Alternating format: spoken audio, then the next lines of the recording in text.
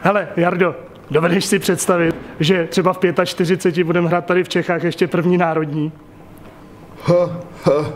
No, no, no.